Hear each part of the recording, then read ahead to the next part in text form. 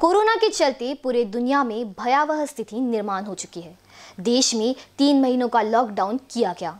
इस लॉकडाउन में देश के सभी वर्गों की समाज को भारी परेशानियों का सामना करना पड़ा है। ऐसे में किन्नर समाज की भी दुर्दशा बहुत ही गंभीर हो गई थी। संपूर्ण लॉकडाउन की वजह से किन्नर समाज के कामकाज पूरी तरह से बंद था। आज ऐसी स्थिति आ गई थी कि समाज के सदस्यों के सामने दीपावली जैसे बड़े त्योहार में खाने के लाले पड़ गए थे। पर भगवान के घर देर है, अंधेर नहीं।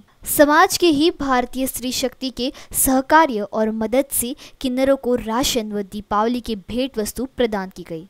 इस पहल में स्त्री शक्ति संगठन के साथ किन्नर विकास बहुउद्देशीय समाज संस्था ने साथ देकर किन्नर समाज की दीपावली अच्छी हो ऐसा समाज को संदेश दिया।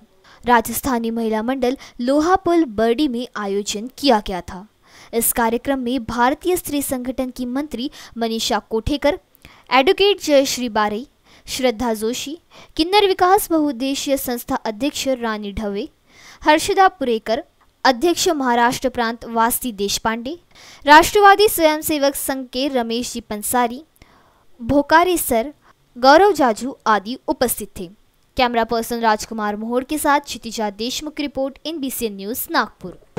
सर्वप्रथम मी भारतीय स्त्री शक्ती या संस्थेला खूप खूप धन्यवाद देऊ इच्छितो की की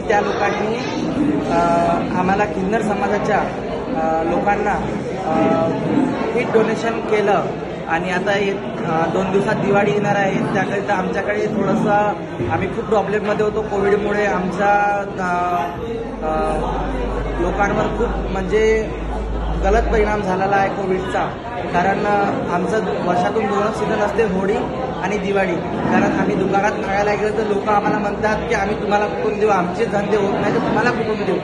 आता यावेळेला तर आमची दिवाळी चांगली होणं शक्य नव्हतं. पण आता भारतीय स्त्री शक्तीच्या लोकांनी आम्हाला जे डोनेशन केलं त्यामुळे आमची दिवाळी चांगली होणार आणि आम्ही त्यांना मनातून भरभरून आशीर्वाद देऊ. बस.